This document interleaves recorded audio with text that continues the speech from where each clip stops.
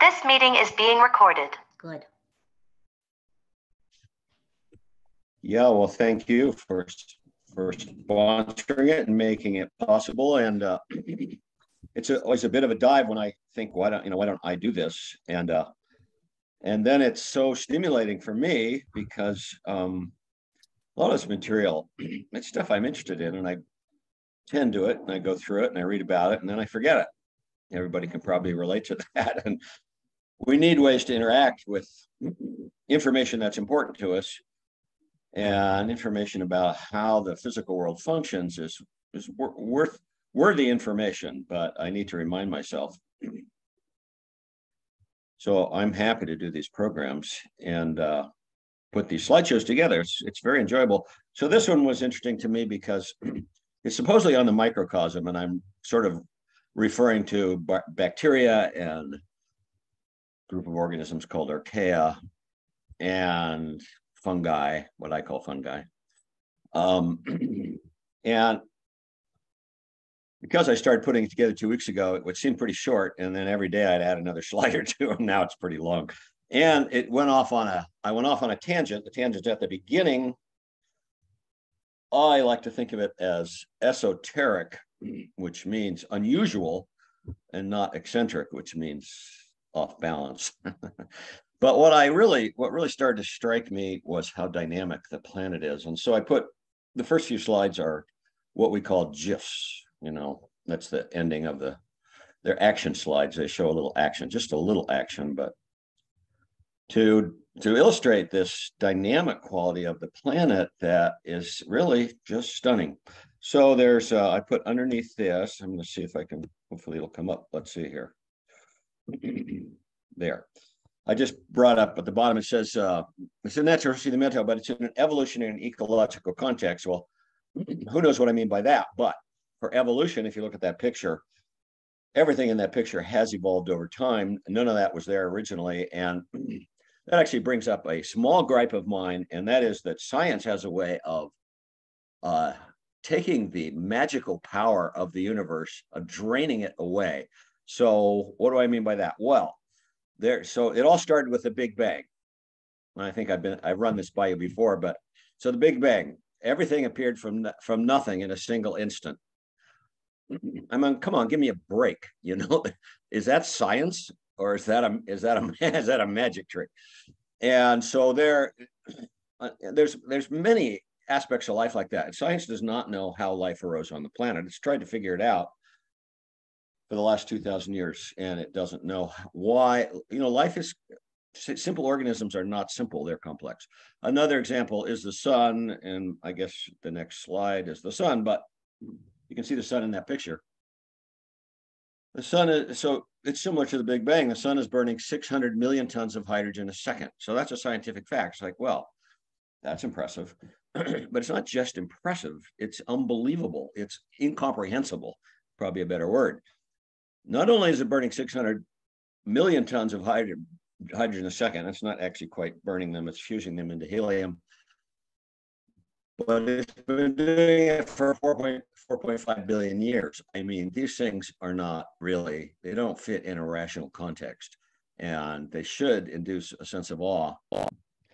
So, evolutionary ecological context, cottonwoods in that picture, there were no cottonwoods on the planet conifers, there were no conifers, why the earth has water, especially liquid water. And then ecological context, I, I had to I have to remind myself of these things, even though this says ecological eyes, you probably can't see it, but it's something that was in the in the naturalist. But I had to remind myself, what is an ecological context? Well, so where does the energy energy from an ecosystem come from? Okay, we know the answer to that. it comes from the sun. But what are the variables? So can we think of variables? Well, there's day length. Deirdre mentioned day length. The days are getting longer. How about summer or winter? Cloud cover, aspect, latitude. How do the plants respond to these variables? So there is an ecological context. We just don't tend to think about it. I'm impressed by how much time we spent, we waste thinking about the trivia of our lives when we could be thinking about the ecological context we could just be thinking more ecologically because we live on an ecological planet and really it would address many of the human issues if we thought more about ecology. It's a picture of the sun, little red arrow here on the upper right pointing to the earth. The sun is a million times larger than the earth. 93 million miles away. It's fusing hydrogen into helium. A small amount of the hydrogen is transformed into energy. Thank goodness for Albert Einstein, who made that possible with his formula E equals mc squared. The amount of energy and mass is uh, E equals m times the speed of light, 186,000 miles per second squared. Good Lord, where did that come from? Who knows? The point is there's a huge amount of energy in mass if you can transform it into energy. So forget the actual number, something like 4% is transformed into energy. The rest is transformed into helium. And, and, a, and one billionth of the sun's energy reaches the earth. And that's what drives the biosphere. So it's an impressive arrangement. It's an unlikely arrangement. This is the first GIF. It's going to start moving. I think it'll show up. Deirdre, tell me if this doesn't show up. But so this is, I'm going to see if I can start that over again. Yeah, I can see it. Okay. So this is plate tectonics. This is uh, this is the Earth uh, crust. It's the Earth mantle, which is either we could call it plastic, we could call it molten. The Earth's core, which is molten. By the way, the Earth's core at 9,000 degrees is the same temperature as the surface of the sun. The center of the sun is a lot hotter. Nonetheless, it's impressive. So this is a a plate subducting. I'm going to start that over again. I don't know that we want to watch the whole thing. It's not very long. The point is that this is is this is one of the dynam dynamics of the planet, and it's highly unlikely that the center of the Earth would be completely molten. It's only the thin crust, something like 20 miles, 30 miles thick, that is solid on the planet. Otherwise, you'd burn your feet. Hmm. but without this molten core and plastic mantle, life would not be possible because this is recycling all the elements and molecules and nutrients that run to the ocean and go to the ocean crust are recycled by subduction. here's, here's a great little image of subduction. One plate subduct the older plate, which is colder and heavier, subducts under the other under the other plate and is recycled into the Earth's mantle, and then reappears in uh, mid-oceanic rifts and in, in magma vents and in this case, they show a volcano. Hmm. Anyhow, it's it's one of many dynamics, and and it drives plate tectonics. So this is an image of plate tectonics. Watch India over there on the right float up through the Indian Ocean. In this image, it doesn't quite make it to Asia, which it crashed into before it starts over. The point is just these dynamics are occurring all the time. This this moving image starts with the planet all put together in what we call Pangea. Uh, all the land masses were together in one place. Apparently, this has happened numerous times over the history of the Earth, over the 4.5 billion year history of the Earth. So we're talking about dynamics. So I think I showed this slide before, but I'm I'm bringing up the fact that the Earth is tilted 23.5 degrees to the sun, and by any physical law, it should be straight up. It should be 90, it, just the way it would have formed in uh, orbit around the around the sun as it accreted, it would have been 90 degrees, but it's not 90 degrees, it's 23. And that is because the planet was hit by a smaller planet they called a planetesimal very early in the history of the earth it it was a it was a catastrophe in terms of the drama it remelted the earth sent more of the iron in the in the earth matrix to the core uh, blew part of the crust into space. It was a catastrophe. Without that catastrophe, life on Earth would probably not be possible for a number of reasons. I think I addressed it before. It did thin the crust. If it hadn't thinned the crust, we probably would not have plate tectonics and the recycling of nutrients. Uh, but the tilt, which then created this effect, so this is going to move. This is uh, solar gain in the northern and southern hemisphere over the over the seasons up top, somewhat blocked out on my computer, but I don't know if it is on yours. You can see the months circled with a little red circle. but this shows the heat if the earth weren't tilted, the heat would accumulate at the equator and the cold would accumulate at the poles. It would probably be 200 degrees at the equator and permanently frozen at the poles. And the diversity of life would be vastly diminished. So that catastrophe, that Goldilocks is a Goldilocks effect. If that if that planetesimal had not hit the Earth, we would not have this variability and distribution of heat over the surface of the planet. So the next slide, I stopped this. I stopped that in the winter just to show that it's cold where we are with the red arrow up there on the left. And in this particular time, which is just last month, I always have to think this through. The the land cools faster than the ocean and it heats faster than the ocean. So in the winter, the land is colder than the ocean. The ocean's warmer in the winter. The ocean's warmer than the land. So the ocean is warm. The air is relatively warmer than on the land. So it's rising and it creates a low pressure area, brings the moisture up from the ocean because it's over the ocean. The rotation of the earth moves it to the east towards the land where it uh, gets over the, here, tried to help myself here, uh, the high pressure on the land and the, uh, let's see, the land is colder, so the air is sinking where it's cold. And as the air sinks, it cools and it precipitates. So that's why it's snowing every week right now. It's because a planetesimal hit the Earth 4.5 million years ago and creates this variation over time. This is uh, this is windy.com. If you just type windy.com in your search box, you'll get this. I didn't remember how, I couldn't remember how to cut this video down. This just shows wind patterns. This is about two weeks ago, but if you look at it right now, so that uh, gyre on the left is a low, low is a low pressure system. Low pressure systems turn counterclockwise in the northern hemisphere. If you trace that out, you can see it's it's it's twisting counterclockwise. Interestingly enough, high pressure systems turn clockwise in the northern hemisphere, and it's the reverse in the southern hemisphere.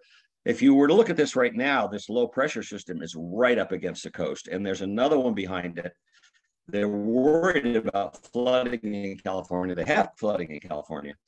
Anyhow, this is the air rising off the warmer ocean and moving over towards the towards the continents. And it's just uh, are we up to how many dynamics are we up to? We have the we have the the Earth's mantle constantly churning and sending magma to the surface. We have the winds constantly moving over the surface of the Earth. These are ocean currents and these are not trivial players. The Gulf Stream, which is more or less shown there on the left, carries more water than all the rivers on the planet. And that is just one ocean current. And so this is all, it's all about the dynamics of the earth, how dynamic the planet is, and also the distribution of heat. You can't have all the heat. If you want to have optimum conditions for life, you can't have all the heat accumulating at the center, at the equator. It's got to be somehow distributed. So it's distributed by the tilt of the earth and it's distributed by uh, these ocean currents. Uh, this is the last GIF and it shows the last glacial advance. Uh, it uh, and it's just another remarkable dynamic of the planet and very relevant to the Methow. All of these dynamics strongly affect the Methow. A lot of the rock in the Methow Valley, surprisingly, is volcanic rock there are no active volcanoes, obviously, now, but there were in the past, and that it comes from plate tectonics. Where the ice ages come from is uh, it's more of a question in my mind than it tends to be in the scientific community. They think they've got it explained with these Milankovitch cycles that the Earth is different distance and tilt towards the sun at different times. I'm not sure that explains it. In any case, the point is it's another dynamic that just 18,000 years ago, 18,000 years ago, the Met was buried in a mile of ice. And there's very little sign of it at this time. There were also five species of elephants in North America and many other animals, and they're all gone. So I'm just emphasizing the dynamics of the planet. We talked about this previously, and I think it looks initially a little daunting and then turns out to be very easy to understand the at least the geometry, if not the why. And I bring this up because we are going through a short evolutionary history of really the Methow, and we have to induce life to appear somehow. And how does life appear on the planet? Well, we can't answer that question, but what we can say is there is an intense, intricate order to matter, and life is composed of matter. And the example, the best example of that, as far as I'm concerned, is the hydrogen atom on the upper left there, which has one proton and one electron. And we know that much. Now, there's an interesting little factoid in that protons are 2,000 times larger than electrons, but they have exactly the same electrical charge. I don't know why. I don't know the why of any of this. So that electron is in what we call an electron shell, often now called an orbital.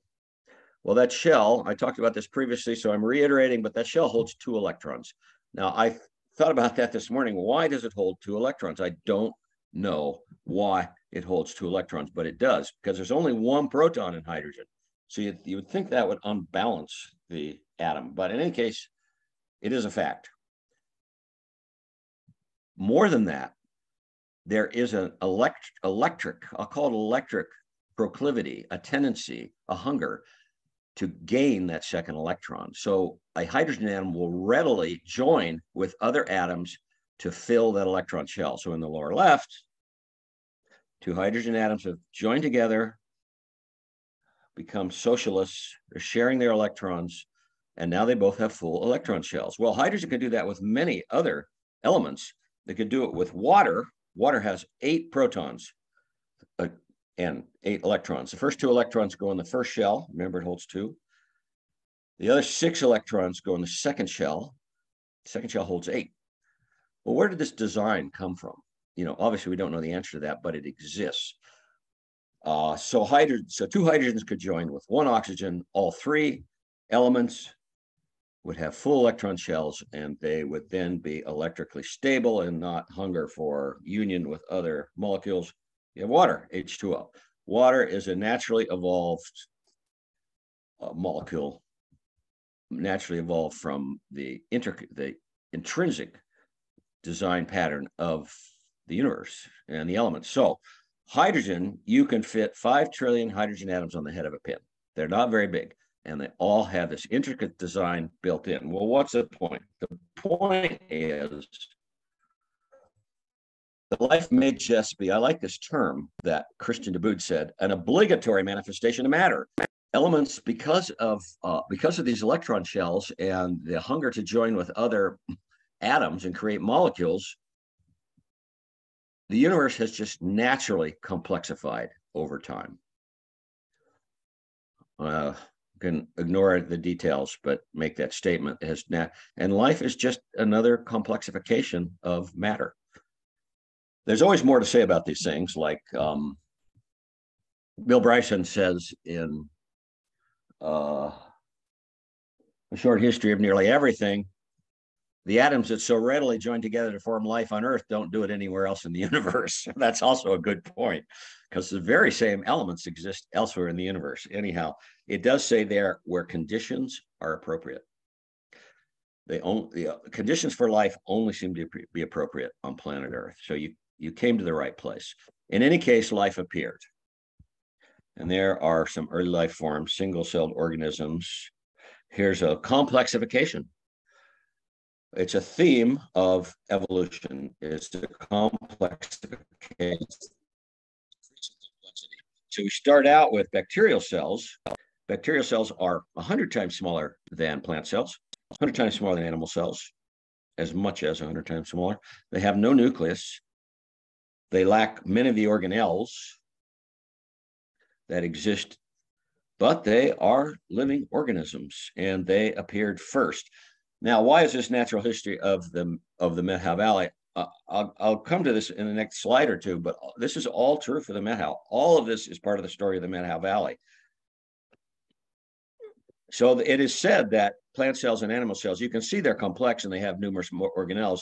It is said that a human cell, an animal cell, is as complex as a 747 jet, and yet it's invisible, invisibly small. So that's some serious complexification this is the tree of life. None of this existed early in the history of the planet. There was no life. Life appeared. We don't know how. Yeah, but it it seems from from the evidence, uh, from evolutionary and chemical evidence that all life is related. That life appeared only once on the planet, and so I circle at the bottom, Luca. The first organism's name was Luca, and that stands for Last Universal Common Ancestor. And all other life has evolved and diversified from that first organism. And that's as true in the Methow as it is anywhere. And I have tended to try and think of the Methow as an evolutionary workshop and just instead of having to travel everywhere to see this variety, to learn about the evolutionary history of the Methow Valley.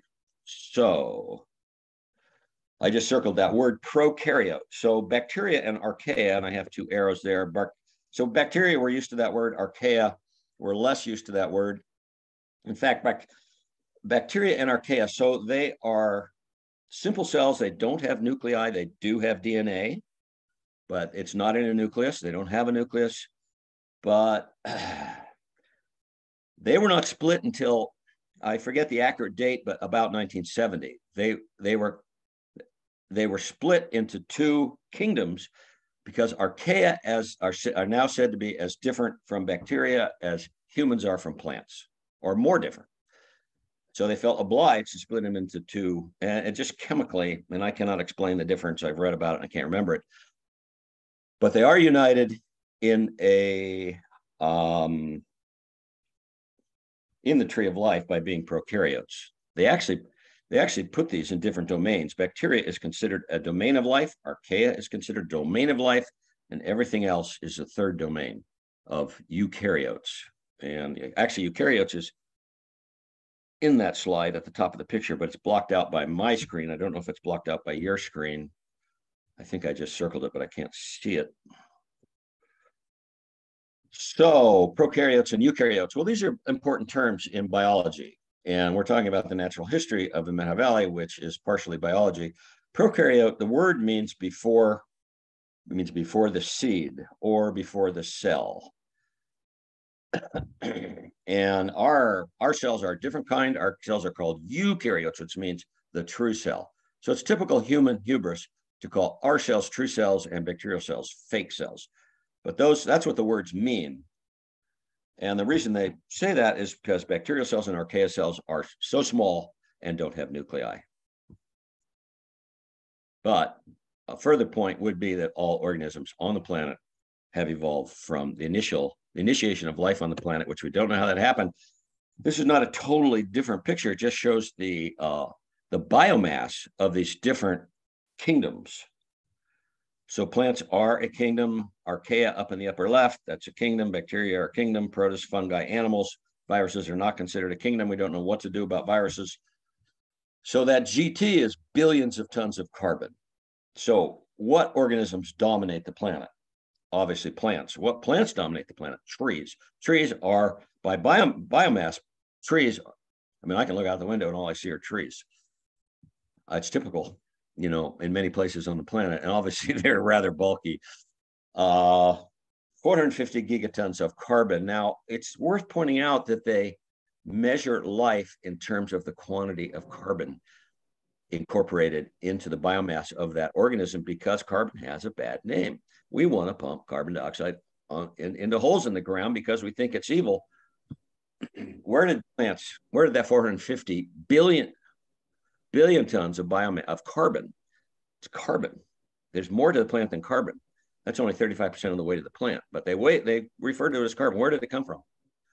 The mind-bending fact of the matter is it came from carbon dioxide. The plant is made out of a gas in the atmosphere that only exists in 400 and probably 17 parts per million today, maybe 420 parts per million. It's it's not comprehensible. It's like the sun burning 600 million tons of hydrogen a second for 4.5 billion years. These things cannot. All you can do is be in awe that this is the case. So why do plants dominate this graph chart of biomass on the planet? Because they are heter they are autotrophs. They make their own food through photosynthesis. um, some protists down there low, but protists are so small they don't weigh anything. So plants make their own. All the other organisms are dependent on. this kind of illustrates that fact. This is an energy pyramid. The energy available for life comes from the sun, but plants only capture 1% of the sunlight that reaches the earth, which is one billionth of the energy the sun puts out. So we're hanging by a shoestring here. Plants capture 1%. No. Enjoy the day. Uh, what's that? What's that term? Carpe diem. Carpe diem. Seize the day. and mute your mute your your computer. Um, the J is for joules. It's a measure of energy, like could be W watts, could be some other measures of energy. A joule is a very tiny measure of energy. I looked it up once and it said one joule is the amount of energy a mosquito expends flying into a wall. That's what it said. Uh, I don't know. It's not very much energy, but it's a measure of energy. And, you know, you can get a big number like at the bottom, 1 million joules of energy. Re, so for every 1 million joules of energy that reaches the earth, 10,000 are captured. That's 1% captured by, by photosynthetic organisms, plants and cyanobacteria, photosynthesizing bacteria. From then on, when organisms are consuming other organisms, only 10% of the energy is passed on. So if you look out the window, how many lions and tigers and bears do you see? None, because they're apex predators and there's no energy available at the top of the energy pyramid. It, it diminishes so much. Most of the energy available is in the hydrocarbon bonds in plants because they are the autotrophs. They are capturing the energy of the sun uh, via photosynthesis. So this is all this is true for the Met All this these, these trees are capturing that energy that just came in eight minutes, came from 93 million miles away. They're capturing that energy and, and incorporating into chemical bonds in, in the hydrocarbon bonds, which is what they are in photosynthesis, sugar of the of that plant, the leaves, the wood, and then that energy is available for the rest of life. So moving right along, the microcosm it's not uninteresting. It is invisible, but not uninteresting. So the general numbers, these are approximations. I mean, it's almost a joke. Who could count?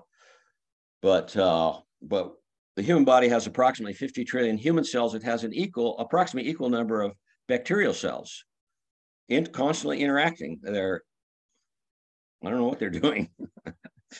but you are more virus particle, not by weight, but by numbers. You are far more virus. You're far more virus than you are human cells. So you're not going to get rid of your viruses. You better learn to live with them, I say. but it's a creepy thought. And I've always liked this cartoon of all the organisms. A lot of those bacteria are on our skin and the viruses are on our skin. The bacteria are probably probably feeding on the dead skin. In fact, all of our skin, I read that all of our skin is dead. They're dead cells. So we walk around with we walk around with these dead exo exo not quite skeleton uh, presenting it to the world, but it's sloughing off constantly. It has probably has hydrocarbon bonds in it. It's got energy in it. Bacteria are feeding on it. The viruses are feeding on the bacteria. They're bacteriophages, and that's all going on. If you're if you're if you have an itch, it may be because the viruses on your skin are eating the bacteria, which are eating the sloughing off skin. We are an ecosystem, and that is where we need to go psychologically. We need to understand that we're a part of something much bigger than our mind. Our mind tends to locate us in us, just a personality. So cyanobacteria, bacteria were the were the first photosynthesizers, and I I don't know why I don't have it right here. It must be in the next slide, but famous scientist Lynn Margulis, famous because she was Carl Sagan's wife. Uh, where is that? Here's that the quote. So Lynn Margulis just points out it's the most important metabolic invention, innovation in the history of life. Photosynthesis creates 99.9% of all the food on the planet because it captures the energy of the sun and it makes it available to all life forms. So let's see here. I don't know quite why I have that endosymbiotic process right there. Bacteria, cyanobacteria somehow invented photosynthesis. Chloroplasts, which are the organelles that do the photo, that capture the energy of the sun and incorporate it into hydrocarbon bonds, uh, are the organelles that conduct photosynthesis.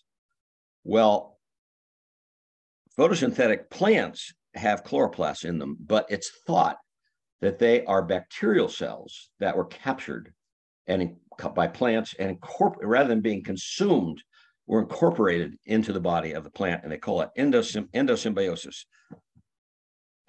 life living together.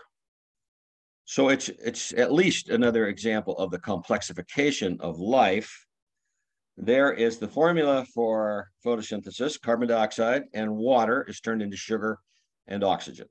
Um, we take it for granted because we've heard it so often, but it's really kind of a magic trick.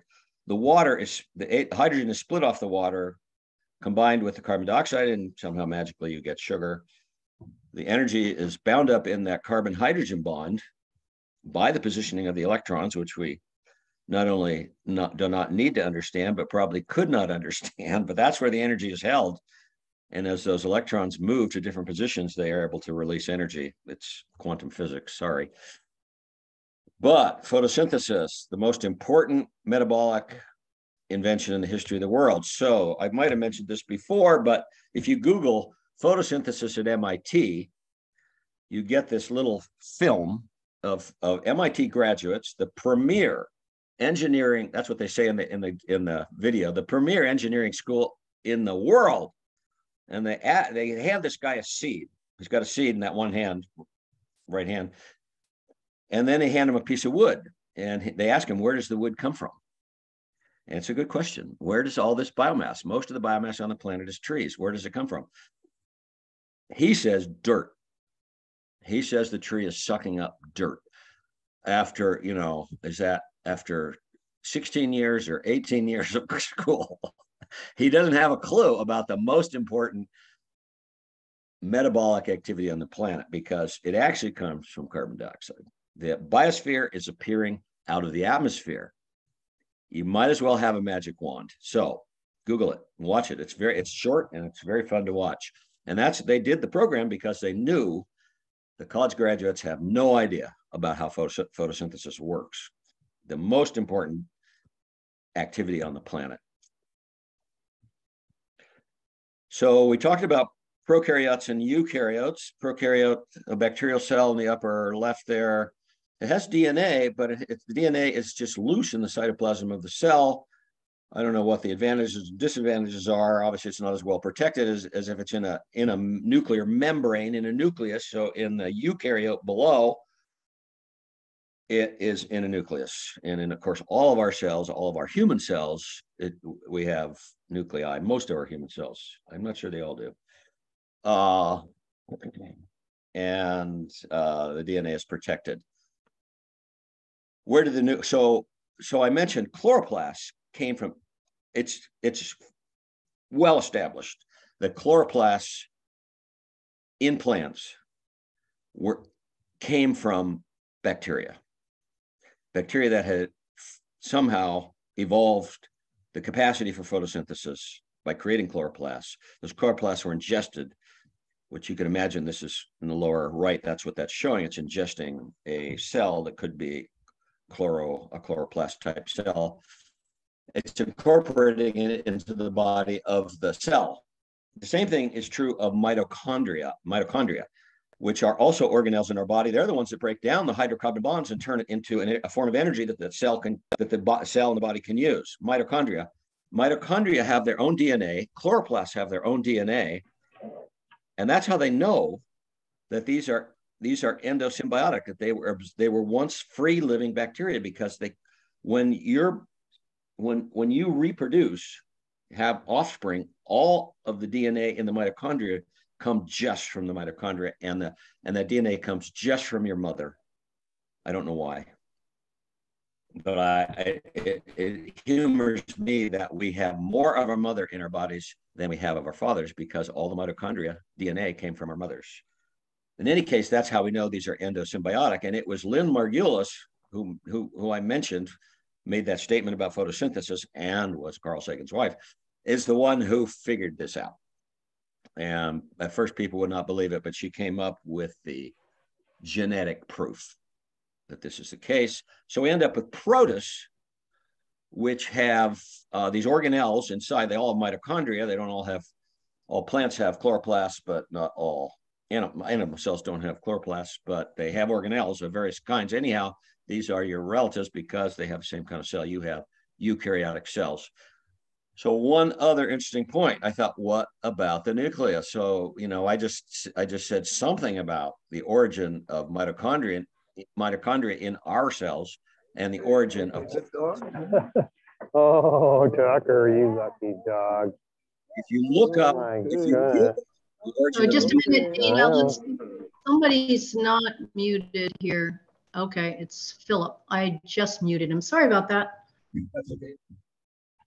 Hopefully he wasn't being critical. I just went and got a little clock here. Um, and if, I, I realized they hadn't said anything about the origin of the nucleus. So remember, prokaryotes don't have nuclei and eukaryotes do have nuclei. Where did it come from? If you Google it, the most likely theory for the origin of the nucleus is from viruses. There are viruses that are super large. They call them giant viruses. They're almost as large as cells. The viruses invade eukaryotic cells. That's what viruses do, and, and actually prokaryotic cells, which would be bacteria. They invade them both and they inject their DNA into those cells. That's what viruses do and take over the, the chemical manufacturing capacity of those cells and they produce more viruses. That's all I can say about it. But it's an interesting point because we are virus adverse that the origin of the nuclei in our cells may be from viruses. You can look it up yourself. So it's possible I should have taken this slide out because we don't have too many coccolithophores. These are protists. These are single-celled organisms. Uh, they, they can be heterotrophs, which means photosynthetic, or auto, an autotroph, photosynthetic, means self-feeding, autotroph, self-feeding, heterotroph, other feeding, eat other things. Many of these cell, many of these um, cells can be either autotrophs or heterotrophs. Go back. We don't have so many of these in the Methow Valley, but these form these shells. The coccolithophores form shells of calcium carbonate, dinoflagellates, calcium carbonate, radiolarians, out of silica. These came up because I do want to talk about diatoms, and diatoms are very common in the Methow, and diatoms are major, major players in the biosphere. We'll talk about that in the next slide, but I got led to these things. So these are more commonly marine. We probably have, I think there's, I think there's dinoflagellates and late radiolarians in freshwater as well. The most interesting thing about this, or one very interesting thing, is the dinoflagellates are the organisms that are symbiotic with coral and do and, and what feed the coral because they're photosynthetic.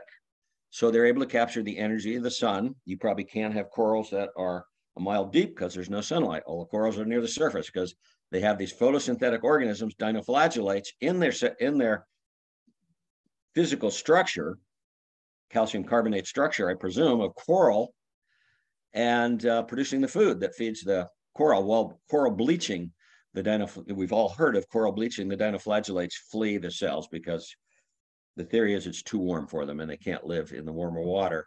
I just found it interesting to figure out that that's what those organisms are that live in corals and make coral life possible. So not so many of these in the Methow, but interesting organisms and big players, radiolarians. It says that there, I have this fact written down. 20% of the ocean floor is made up of the shells of radiolarians. And I can't, you know, I've never measured it myself. I don't know how true these are. The point is, is these microscopic organisms become become major players in the ecology of the planet. So all the silica has settled to the um, ocean floor and would stay there, but for plate tectonics. The ocean plates are recycled. They go down into the mantle and come back in the mid-oceanic rift zones. Those are the White Cliffs of Dover up there in the center I just pulled up. They're made out of coccolithophores, calcium carbonate. That's up the coast of England. But more to the point, for the Methow, these are diatoms.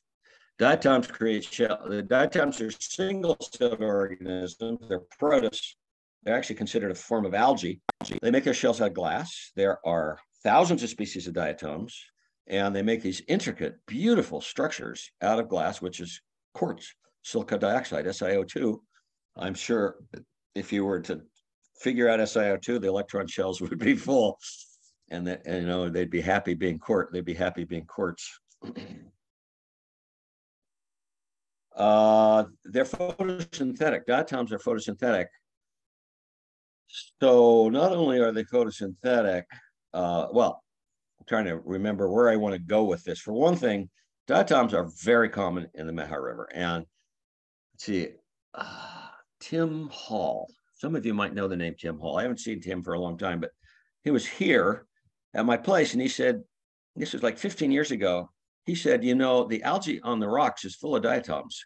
I was so surprised that that was the case. So about 10 years ago, I started looking at the slime, the stuff we slip on when we try and walk, walk across a shallow place in the river that is sometimes called rock snot. Spread it, spread it out on a slide and it's full of diatoms. And you can see them at about, I forget, probably about 40 magnification. You're able to see them in 100 magnification. They're bigger full of diatoms. Well, diatoms are a big player on the planet. How is that possible? Well, for one thing, diatoms diatoms are just massively abundant in the world's oceans. I think this shows. So that's Alaska. You can sort of make out the outline of Alaska there and the Aleutian Islands extending down to the left. That turquoise green color is an is a diatom bloom in the Bering Sea. So that is uncountable zillions of diatoms that conditions are right for a diatom bloom. And they're so they're photosynthetic, which means they are capturing the energy of the sun and incorporating into hydrocarbon bonds and building the base of the food chain that allows uh, heterotrophs, other eaters, to exist. So diatoms have increased on the planet massively. There were no diatoms until they seem to have been invented roughly 100 million years ago, 120 million years ago. They were not abundant until 30 million years ago in the oceans.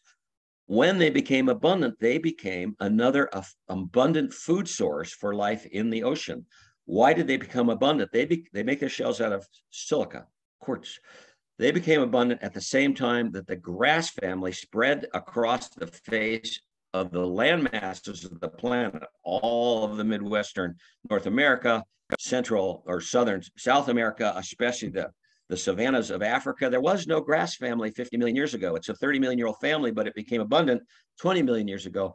Grass takes up silica as, as a defense against herbivores into the structure of the leaf and it turns it into an organic form from a mineral form and even a, a, a, soluble form silicic acid when the when the grass dies and decomposes the silicic acid goes into the the waterways of the land and flows into the ocean so all of a sudden not all of a sudden it took time but 30 million years ago 20 million years ago silica was flowing off the land into the oceans because of the um, multiplication, the spread of the grass family, which is now one of the most dominant families on the land, the grass family. That's when diatoms increased, and they particularly increased in northern latitudes. They like cold water. Northern and southern latitudes, also near Antarctica, well, that is about the time that baleen whales appeared. Baleen whales are filter feeders. I don't know that their filter is fine enough to filter out diatoms, but but the, it's the micro the micro animals that feed on diatoms because diatoms are autotrophs. Diatoms are creating their own food. Then a whole ecosystem is going to evolve around the diatoms of protists and the baleen whales. This food source became available and whale and baleen whales appeared, I forget when, but in an appropriate time frame, maybe 10 million years ago, when diatoms. And this is all interconnected. This is related to the evolution of grass, the evolution of diatoms, silica flowing into the ocean. So these are diatoms in the Methow. This is a sheet. I can't see the top of that page. You probably can. I have some kind of little menu thing up there. But diatoms of the Methow and any of these sheets that exist from the Methow Naturalist, all these have been in the Methow Naturalist. You know, I'm happy to email them to you if you happen to want any of them. But I pull a sheet out every, you know, every winter, like now. I start pulling that. Uh, I bring a, I actually bring a cobble. I have a, a little cobble sitting in a little bowl on the table downstairs and I'll pull off a little, just a little bit of scudge off of that and spread it out on a slide and put a slide cover on it. Look at it in a in a microscope. It's full of diatoms. That scudge is mostly diatoms, and diatoms are a form of algae. And they don't just create glass houses; they create this mucilage. They need a way to hang on to the rock, so there is more to a diatom than the glass house. But the glass house is a photosynthesizer. This is a very common diatom everywhere in the Methow. It's, it's, it's called by the fishermen. The fishermen call it didymo because this genus is Didymosphenia. It's a, it's a beautiful look. I call it the Coke bottle, the Coke bottle diatom, uh, because it looks like a Coke bottle. I think the central picture is probably a biologist artist at work who has somehow arranged those to look pretty. So, uh, you know, they don't join together like that in in natural life. They're just just multitudes of them floating around on the end of mucilaginous threads but they are they create these masses of of uh, algae in the early summer and then they die in the late summer. These are actually there's a it's unknown whether this didymo is native or non-native but it is considered to be a weed surprisingly because it creates these masses of uh, diatomaceous material that then dies and as it decomposes it starts taking oxygen rather than producing oxygen it takes oxygen out of the water so the fisheries biologists are worried about the spread of this particular diatom. So I go back to this because we're going to move on to fungi, and I thought I would show the biome, the the, the uh, assumed biomass of fungi on the planet. You know, they're can't hold a candle to either bacteria or plants, but 12 gigatons, that's 12 billion tons. You know, nobody has weighed the fungi on the planet. We don't know for sure. These are estimates but they have a role to play. And what is that role? Well, I like to ask are, you know, all of these organisms that we've talked about, are they sentient? Do they, we use that word, we like to apply that word to our species. Homo, Homo sapiens are sentient. What does sentient means? I think it means they perceive the world. The humans have a particular way of perceiving the world. Well, I've been mildly shocked to realize, and you know, what is uh, Yong, Ed Yong, is his name Ed Young Y O N G? He has YouTubes and books, An Immense World. He has a book out called An Immense World. It's about how every animal, every living organism is sentient in its own way. And it's obvious this mushroom has a certain sentience. Okay, now I'm joking because I nailed those two puffballs up there because I was struck by how that oyster mushroom that is decomposing that cottonwood tree, the cottonwood tree was dead. This is on my property and it's 10 years ago. It's not there anymore because I ate it. Uh, but that tree fell over, and as in, in fact, um, you can't just have living things tying up all of the nutrients of the planet in their organic structure, falling over dead because living things only live so long, partly because life is the planet the universe is dangerous and no only all organisms only live so long and then they fall over dead. If they were not taken back apart life would have petered out on the planet 3 billion years ago. Life is about 3.8 billion years, years old on the planet. All but it's our good fortune that we have what we call decomposers i i think I, in the next slide i call them recomposers here here no, it's not. It's coming up. So fungi are evolved organisms as everything is. Remember, everything evolved from Luca, the last universal common ancestor. What are they closely related to? This is a cladogram which shows evolutionary relationships. Fungi are next to animals. Fungi, your closest, your closest relatives on the planet other than animals are mushrooms. no offense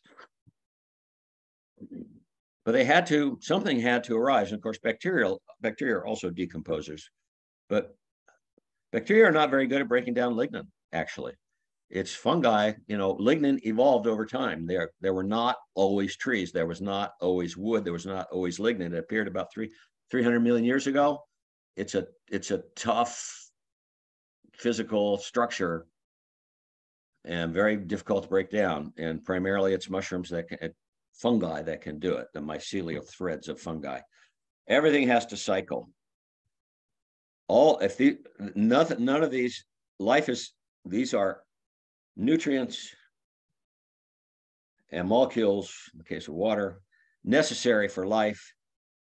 They're limited. It's a finite planet. They're limited. If they didn't cycle, life would have come to an end long ago. But they do cycle uh, because of the decomposers and recomposers. So here is a recomposer. It's on this tree stump. I forget what species that is, but uh, it's breaking down that tree stump and making the nutrients available to life again. So the recomposers are utterly necessary. From there, I'm going into a few stories about fungi, about mushrooms, and this this is a mushroom that some of you would have seen. Unfortunately, I forget what fall it was. It was either three years ago or four years ago. This mushroom appeared at the base of the cottonwoods everywhere in the Methow Valley. I remember I remember talking to Annika, who lives on the Twisp River and has a little riverfront, and she said they were all over under the cottonwoods down by the river on the Twisp River. I saw them at the suspension bridge. There were hundreds of them, hundreds of them in that spot near the suspension bridge under the cottonwoods. I asked somebody who was going to the Puget Sound Mycological Society meeting in Seattle to ask them about this bolete. So these are, yeah, this is Boletus regineus, the queen bolete. Boletes don't have gills, they have pores. You can sort of see that the underside is tiny holes, not pore. They're tiny, tiny holes, not gills. Ask him at the Mycological Society what species of bolete grows under cottonwoods, and the experts said boletes don't grow under cottonwoods, and so they were wrong. And that's my point at the moment. That's the story: is that experts only know what they know about, and they don't know what they don't know about. I have only seen that mushroom bloom one time in the many years I've been in the Methow Valley. Three years ago, there were tens of thousands of them, and they're big and they're edible. I never saw them before, and I haven't seen them since. So it's it's an interesting. It's just a mushroom story. This is another bolete. It's a king bolete. It's it's considered in a in some by some the most delicious mushroom on the planet, and it is not uncommon in the montane forest in the Methow Valley. Actually, it's a little better if you go to Rainy Pass, at which point you're no longer in the Methow Valley. But I've been thinking we should probably adopt Rainy Pass because it's adds a lot to the Methow. Anyhow, they need a little more moisture than we tend to get in the Methow. They grow under con under the under conifers in late summer if we get rain, which we do sometimes and not other times. The whole mushroom is edible and delicious. And there is, oh yeah, this is another edible mushroom, the lion's mane. So this is on the uh, uh, Easy Pass Trail. And what interested me about this, this is edible, and I took a picture and then I cut it off. I took it home, I ate it. And I went up the trail the next year and it was back because the, the mycelium, the actual body of the mushroom is decomposing that log is inside that log. So this is just the fruiting body and it reappeared the next year and I cut it off and ate it. And another one time, I think on that same trail, it was the Easy Pass, Easy Pass Trail, there was a huge lion's mane up in a dead tree, hanging off the trunk of a dead tree, but it was 12 feet up. And I couldn't reach it. So I got a stick and I swung at this huge mushroom and I had to catch it before it hit the ground or it would split into a hundred parts.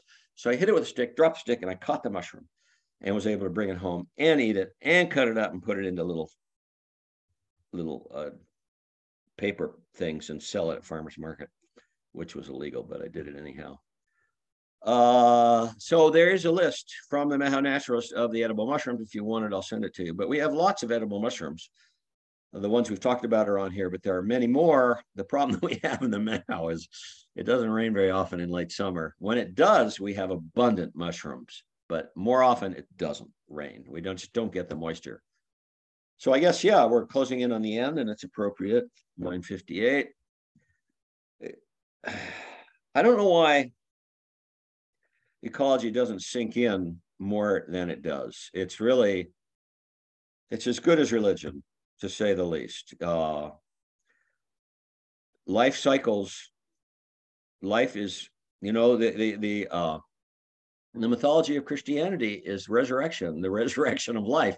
It's just like they, the Christians took uh, the solstice and turned it into Chris, Christmas and they turned the renewal of life through ecological processes into the resurrection. It's okay, but but it's not ecology. The ecological story is rich and meaningful. So, you know, death is a problem for us because we're alive, and death is never popular. And I, Melanie pointed out to me the other day that um, there's no organism that is eager to die until those last moments, maybe, but in general, it's natural to not embrace death, but death is so natural and it's it's not 100% death. Uh, there are good poems, you know, by Walt Whitman and others that that uh, there would be no life if it weren't for death. It's a flow, and I, I think our lives would be richer if we could get a feel for that and realize it's not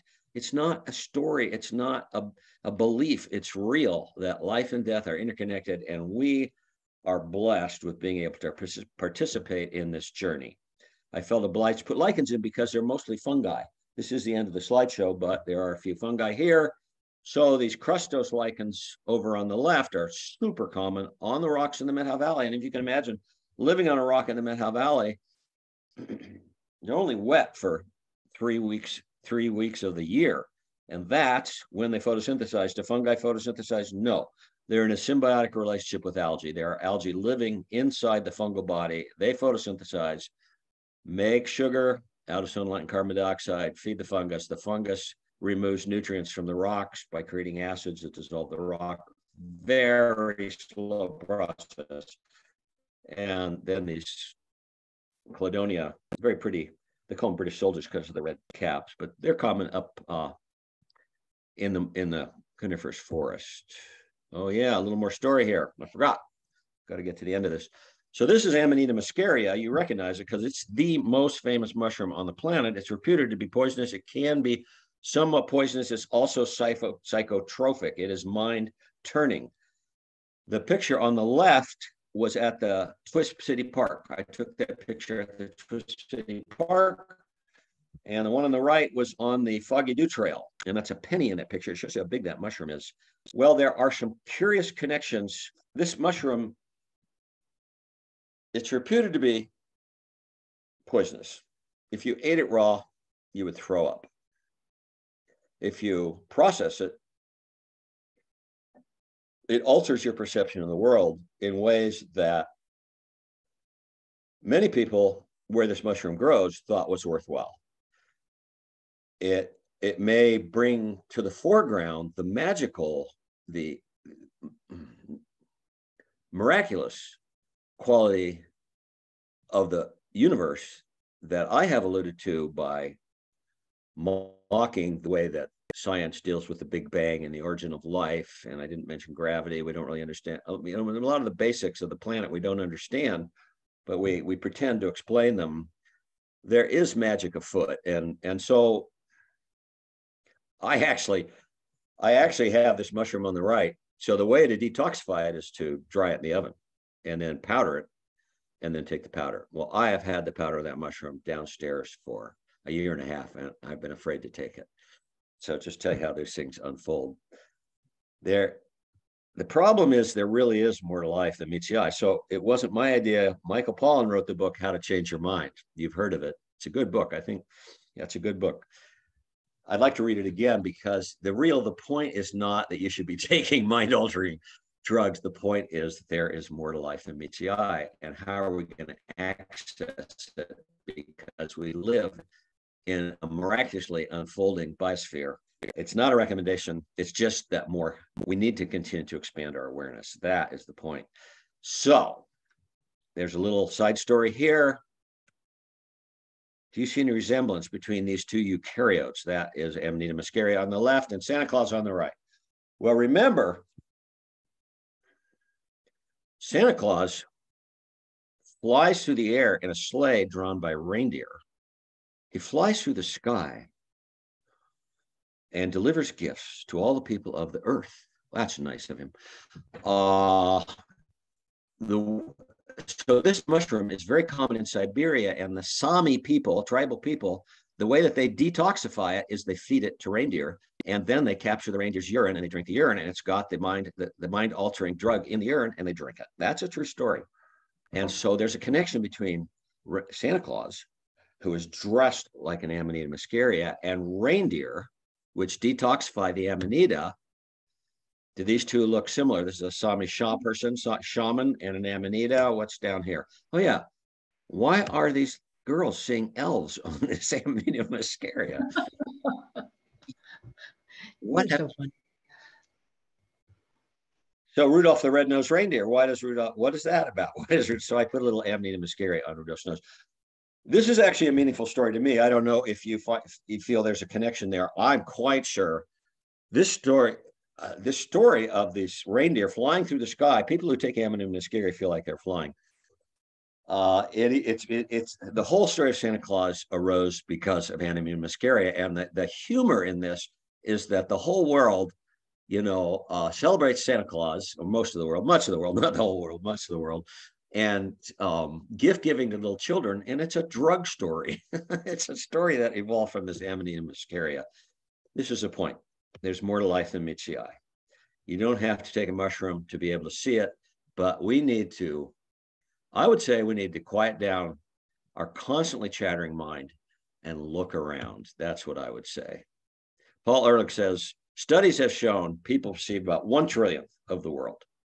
I don't know how true that is, but I'm sure we don't see most of what there is around us. Last slide, Thich Nhat Hanh. I think most of you know who Thich Nhat Hanh was. He died, I think, last year. He was a Buddhist monk. He taught meditation. He has many good statements about life on earth. And this is, you know, this first line is a good line people consider walking on water to be a miracle. But I think the real miracle is not to walk on water, but to walk on the earth. If you think of the complexity, even as we've talked about it in this program, our 50 trillion cells all functioning, all building themselves from, we started out as a single cell. How is it possible? It's a miracle. Every day we're engaged in a miracle we don't recognize. Blue sky, white clouds, green eyes, the curious eyes of a children, our own eyes. All is miracle. That's the end. Got a little heavy there, sorry.